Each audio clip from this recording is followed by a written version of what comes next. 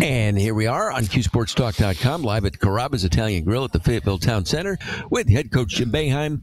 And uh, welcome to those watching and checking out the video feed, coach, and then chatting away here in the stream chat. If you have any questions for the coach, you can feel free to add them in, and we'll get to as many as we can.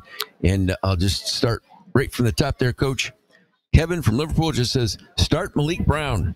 Well, you know, he's playing. He played starters minutes. I mean, he's just not quite ready, maybe, but he, he could start. Um, he's getting better. He he just is a low post power forward. He doesn't, you know, do some other things that we'd like to see, but uh, he's playing a lot. I mean, what did he play the other night? You know, 25, 26 minutes. I mean, he's he's going to play. He's he's earned that, and uh, you know, but uh, I don't. I haven't given up on our other forwards. I think they've shown spots, some signs of doing some really good things too. So we just got to keep working with them. Got to try to get them better. And there's uh, guys over the years that didn't necessarily start, and you know, Dion Waiters' name comes to comes to mind, and. Yeah you know, as a first round draft pick. And well, if you play the majority of time, then you're yeah starters minutes. It's starters minutes, basically. We'll see what happens. See how we progress once we come back up here. Uh, just more kind of a piggybacking on what we are discussing in the first half hour about uh, Bell trouble rebounding, just having a well, issues. You know, if he if if Benny, oh, if Benny would rebound we're having some problems here, I think. Yeah. But if Benny would rebound better, that would help take some of the pressure off Chris. We can't have them both not rebounding, but uh, you know, Chris is more of a shooter and a scorer, and that's okay. But he's just both guys have to get better, better on defense. That's really the I think the big key. Yeah, we're having a little bit of audio issue here. We can kind of hear. Uh, we'll just kind of keep yakking away here, Coach. I'm assuming people can hear us. Uh, on the stream chat. Uh, this one here says, "Read your first book. Very good read, Coach." Well, thank you. Yeah, Jack McCallum is a great writer, thirty-year writer for Sports Illustrated. He's written a lot of good books, and I thought he did he did a really really good job with it. Uh, this one here, uh, Matt wants to know first, uh, happy holidays, and what's your uh, well, you're not going to say what your gift is for Mrs. Boeheim on the radio. Can you hear it? Can you hear it? Coach? I can't hear anything right I, now. I know we're having, a, we're having all we're hearing is uh, static. Uh, let me see. I'll get to uh, another question here. Uh, why don't we trap uh, the corners like we did five or ten years ago? The trap. well, was... we've tried. We haven't done it very well. That's one of the things with a young team. It's a little harder to get those traps. We actually have gotten some and then let people out of them. So we're not as good. It's a good question. Um, it's something we do work on. We have not really, you know, when you're learning the defenses and you're just trying to play basic good defense, it's hard sometimes to put in traps and a lot of other things because you're just learning the basics for the most part. Uh, let me see here again uh, for those joining us here in the stream chat, working through uh, some minor technical issues. You know, uh, Paulie was ill, but he's back now, Coach. But I think he's, you know, I don't think it's possible to give computer equipment what Paulie had, but that might have happened. That's okay. Uh, let me see here. Uh, again, from the stream chat, with the aggressive defense he faces, is Joe better off if he doesn't worry about the three point line and seeks whatever open shot he can get. Yeah, he's looking for open shots, but I mean, you know, three is better than two, and you know, he's shooting a good enough percentage at the three. And uh, it's harder for him to get in around the basket. He's, you know, he's small. He's he's not going to finish a lot around the basket, but he looks for that pull up too. And yeah, that's a good, a very good point. Uh, around the country, coach, and you touched a little bit on it in the first half hour with uh, Matt Park regarding Eastern Illinois and that upset win at Iowa. Yeah. And it was up until that game in the past 30 years, teams that were 30 point or more underdogs were 0 in 558. Yeah, I mean, I, that was a shocker. I didn't see the game for some reason. I kind of missed it. Then I saw a write up about it. And I mean, I was really good this year. It's not like they're not good. I think they shot like eight for 36 or 40 from the three yeah. or something. And, uh, which, but that's, that was a shocking, shocking loss. Nine point game. Wow. But I'll tell you, I'm not that surprised. I'm sure Boston College was a pretty big underdog to Virginia Tech last night. Virginia Tech top 20 team and really playing great basketball. And Boston College lost to Maine at home. Um, I mean, that's a monster upset there, really big upset. But that's that's what happens in college basketball. I think right now. Now, how about UConn at the thirteen and zero? They're yeah, and you know I watched them, and Georgetown was up 68-62 at UConn the other night with about probably seven or eight minutes to go, and then UConn just blew. Man, they just played great. They got a good team. They got a really good team. They got two big guys. They got shooters. They got handlers. Uh, they're legit. They're they're definitely got a really good shot. They'll be a number. I think they'll win the Big East. I think they'll be a number one seed. They're just really good, and uh, I think they'll be hard to beat. They are not going to lose much. Looking at the rest of their schedule and the rest of the of the conference, you know, the, the Big East is still good, but it's not as good as it's been, and uh, I think they can.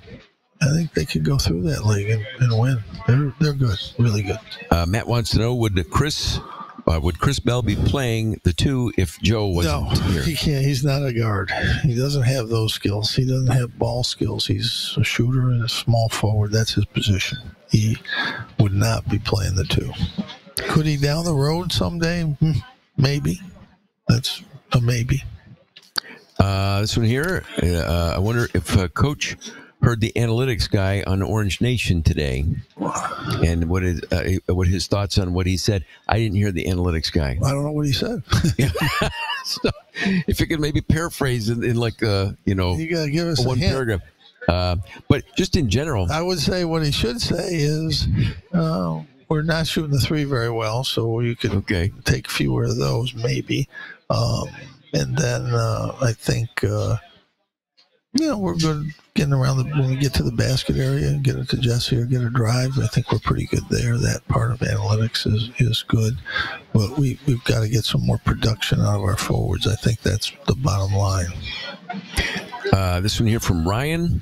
Uh, he says, uh, Coach uh, Pistol Pete Maravich averaged 44 points a game at LSU despite there being no three point line. Yeah. A coach went back and watched every single one of his games mm-hmm. and concluded that Maravich was making about 13 threes a game. Wow. Do you think Pistol Pete doesn't get enough recognition in well, college he, basketball? He was a great player. I saw him play once. He's just was in person. He was a, a phenomenal player. He he could handle it, you know, shoot it, uh, pass it. I mean, he he was a, a spectacular player you know, good size. and he really handled the ball, shoot it from anywhere. Uh, I'm surprised he made that. I'd say he probably made seven or eight threes a game. That's that's a That's lot. even more impressive. Yeah, he was really good. He was good in the NBA. He just, you know, he just he could score. He could score with anybody. Phenomenal, phenomenal player. One kind of a unique player. Not many guys you say, yeah, he's like Pete Maravich. No, They're not like him. Tough to compare. Well, in another sport, speaking of legends, and we had heard yesterday that Franco Harris had yeah. passed away unexpectedly right before the big 50th anniversary of that immaculate yeah. uh, reception game. Uh, I remember watching that. I mean, back in the day in 1972, there was only one game on, yeah. and there was nothing else to do. So everybody watched that game, and the next day, that's all everybody was talking about was was that play. Spectacular you know, but he was a great football player. He's remembered for that play, but he was a, he was a great football player. Part of what four Super Bowl teams, four, yeah. four championship teams. Yeah, he was, he was a great player. Uh, let me see here. Going back to the uh, analytics guy, he said his top five rated players as Jesse, Joe, Judah, Maliq, and Justin. He says the starting lineup has a worse point differential than the second most used in the lineup, which has JT in for Bell.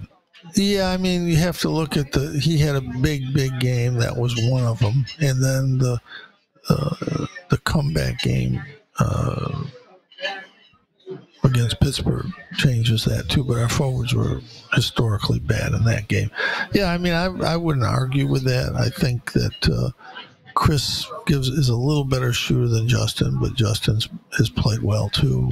Um, it's it's I mean it's a coin flip, and Maliq has been better than Benny overall, um, but he hasn't it hasn't been that dramatic. It's a little bit different, but uh, yeah, that's I wouldn't argue with that at all. And prior to that, John Bol was doing more things than some guys were, and then he had a couple bad games, and now Quadir's coming off a real good game.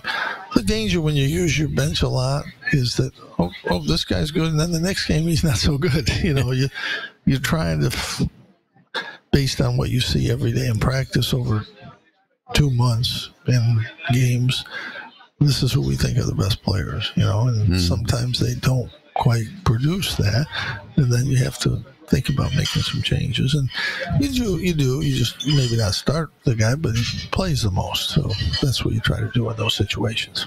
Uh, did you watch the Michigan uh, North Carolina? Yeah, yeah. A little chippy, a little feisty. Yeah, well, that's going to happen. That's going to happen. Some of that stuff, but you know, North Carolina is really good. They're going to have some moments. They're, they get, probably get a little bored, but uh, you know, that's a team that was a player away from winning the national championship, and they're the key guys are all back, so they're going to be tough.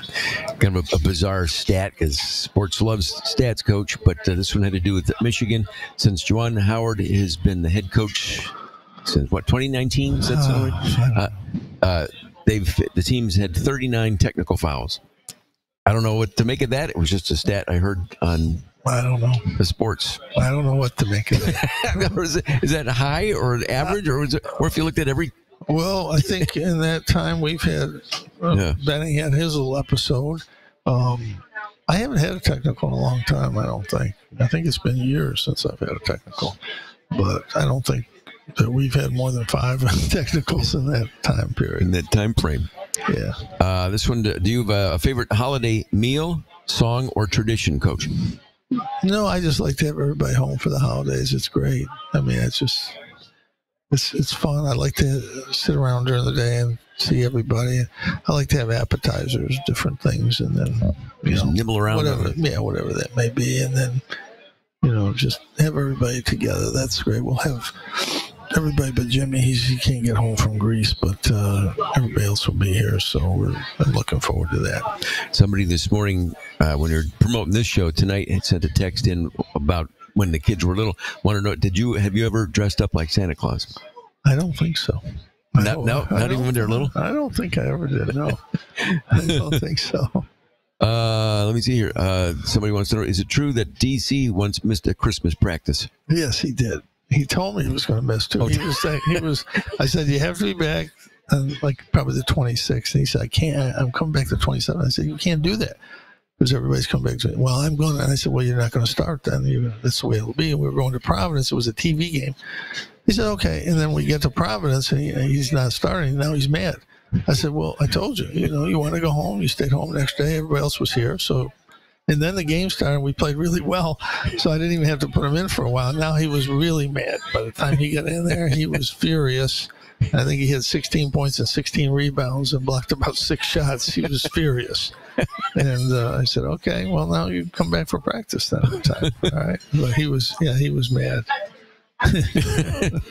Uh, see, someone we were talking about the the technicals. Uh, was it the last technical when you tossed your jacket? Did- Probably, probably right. I guess I might have gotten I, that. Was yeah, maybe that was a while ago too. I can't remember how far that. long six. that was. I remember now. Six years ago, Oh, at least seven.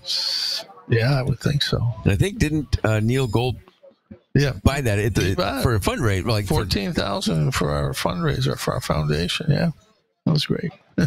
uh, someone suggesting Tom Izzo got a technical last night for wearing an ugly Christmas sweater. I just think it was more than a sweater.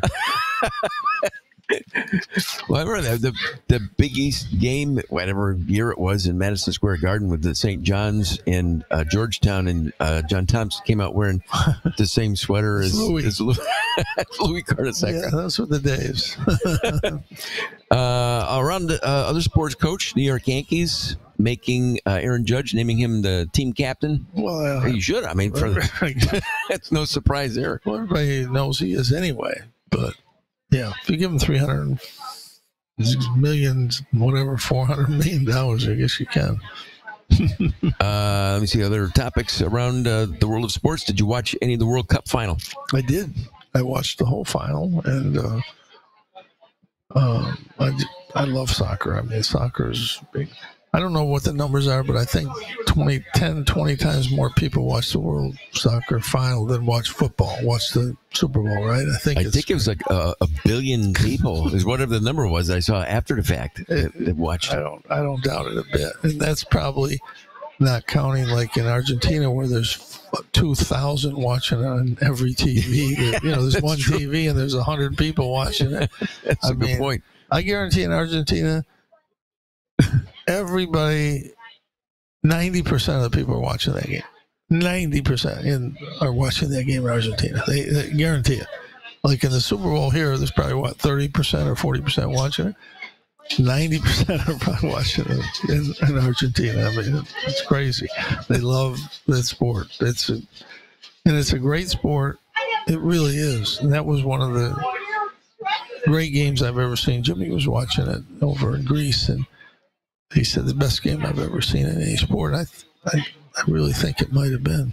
Right at the top, and then the way again, the same way as the Syracuse national championship Penalty. game, the penalty kicks at the end, and it's that's ultimate drama in sports right there. That's pressure. I pressure. wanted Messi to win. I, I, he's always been my favorite player, and I thought they were going to win. And then the guy takes a bad penalty, puts his arm out. Oh, it was terrible.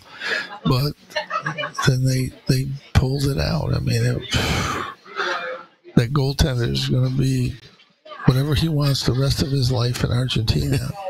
he's getting like if he wants a TV or if he wants a car. All he's got to do is walk, walk in, in. and say, "I like that car." You got it. you take it. Just take it. Take it right there.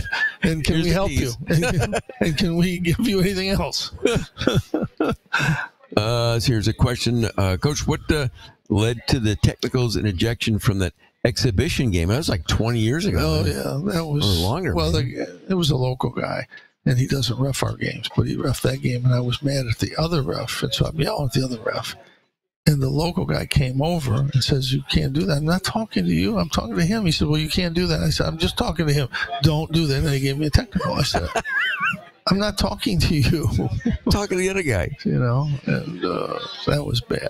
But uh, yeah, that might be the last. I don't know. I haven't gotten too many. It doesn't do any good to get them, so I don't get them too much. Uh, this question here: What is your favorite conference away game to play in terms of fan support? Our fans, yeah, we we get great support in New York and Georgetown. We play down there. Um, and we've played in Florida in the past. We've had really good support in Miami or Florida State. We go there. There's been a lot of Syracuse fans there uh, in those places. But uh, yeah, we, our fans are good. They're, they they try to get to places. You can't get tickets at Duke, or they come there. You know, but we, we have great support when we go on the road. Our fans have been great, always been great.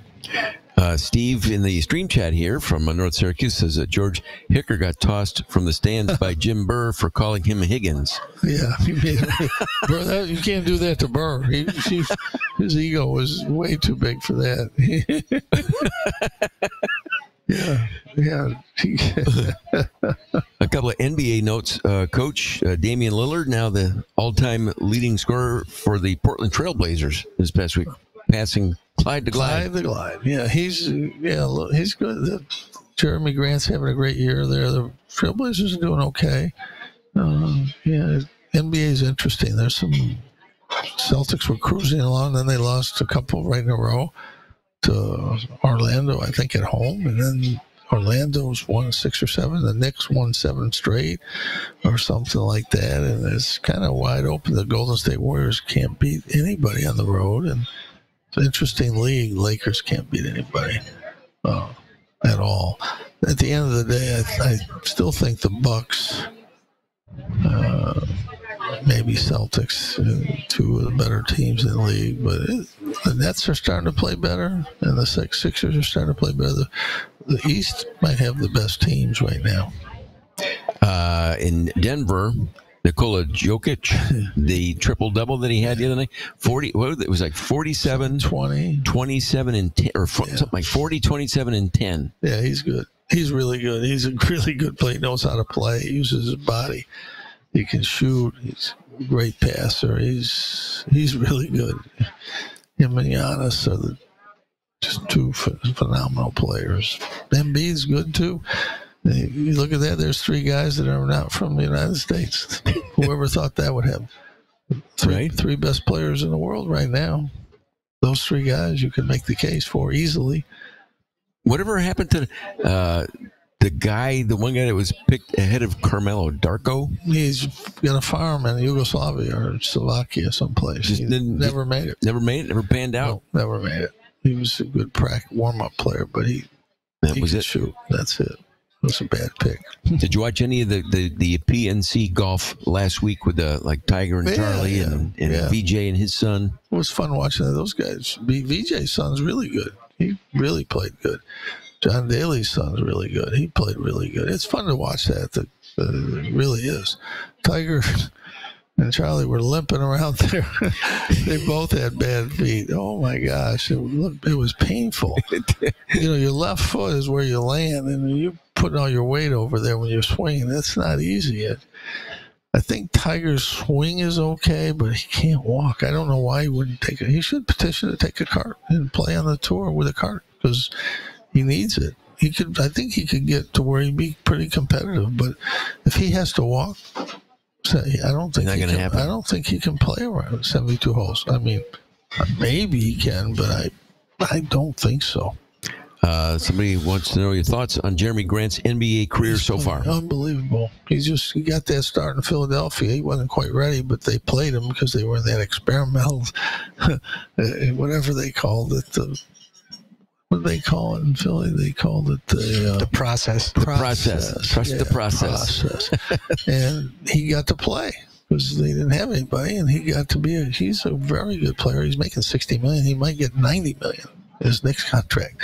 So yeah, he's he's Not really bad. playing great. How about this thoughts on the dwindling importance of college bowl games? Well, I mean, there's two games that count. The rest, players aren't playing. I mean, it's some benefit probably, but I mean, what do we have? How many guys?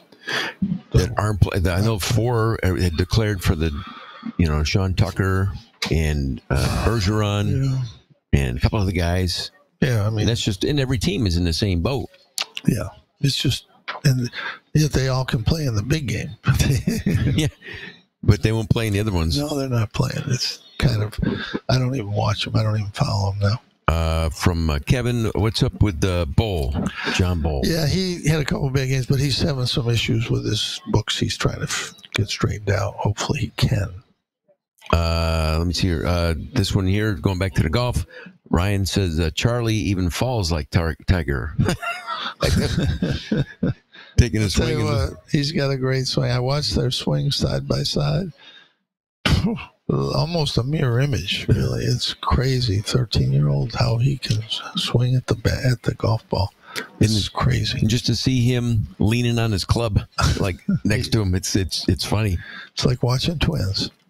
Uh, see, uh, one more topic, topic here, Coach, and uh, just seen because of your involvement in you know Olympic sports, obviously with with the Team USA, the House of Representatives today passed the uh, equal pay bill for U.S. women's athletes, equal pay and benefits for athletes, Olympic athletes, regardless of gender. Right. Well, yeah. I mean, I don't. Honestly, I don't follow that that much in terms of how much they get. Panel soccer got some things done, and I think they got a boost in, Yeah. in what they're getting. But uh, yeah, I don't know. In track, I know there's a lot of money in track.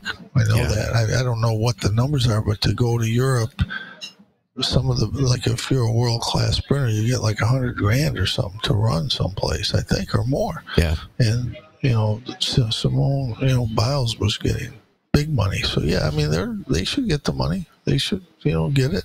I think, um, you know, tennis players. I think tennis is getting more equal to pay than it used to be. But uh, yeah, I mean, I think that's all what should happen. Really, I don't see. I think in some sports it's not economical to pay the same, and you know that Just the depending on the the numbers don't. numbers don't add up that way. But I think in the Olympic sports, yeah, I think women's soccer wins. They draw big crowds. Uh, they probably don't make the TV money, maybe, although they could. But they, they definitely should beginning. Uh, who's your uh, would be your your uh, dream foursome to play in golf someday when you're able to you know when you're when you're uh, retired and out golfing, coach? Uh, what would be your your your dream foursome? The three guys you'd like to play with. You know, I mean, I, I'm a big Tiger Woods fan. I always have been. You know, I like to play golf. If they were all in their prime, I'd like. To, oh, I just lost something here. Uh, I'd Yeah, I think we might be. What? I'm not hearing anything anymore here. I'm so not. Oh, there it we'll- Well, If they were all in their prime, I'd like to play with Tiger Woods, Ben Hogan, and uh, Jack Nicklaus. Probably those. Those would be. That would be a. not a bad, That'd be a. not a bad foursome. If I could get four of them, I'd probably want to get Bobby Jones. You know, that'd be that'd be it. You know, it's, those. I mean, if you really look at golf, you have to say Bobby Jones was the best player when he was there. Then Hogan, and then Nicklaus, and then Tiger Woods. I think they're the four best players that we've had. And you can argue about which one was the best, but I mean, I think those are the four best from their each one from their era. I mean, that's pretty pretty good, pretty good players. Well, with that, uh, Coach Ryan and uh, Matt and others saying uh, Merry Christmas, Happy Holidays to you, Yeah. and best wishes uh, to the team, and have a great uh, Yep. holiday and Christmas, and say hi to the family. And same to them and everybody listening around the these different. I know it's hard to keep track. I don't even know where we are. I have no idea. I don't know who's actually listening. All I know is Jimmy's in Greece and he watches every game and every football, every basketball, baseball. You watch Cornell Colgate today over there. I mean, you couldn't watch those if you, unless you went to the game. True. 20 years ago. Now you can watch them anywhere in the world. Anywhere in the world. Anywhere in the world. It's just Cornell beat Colgate today down there. Colgate six and seven. I guess they played their game against us and they, they just forgot to. They had to keep playing. Playing to show the up. rest of the year.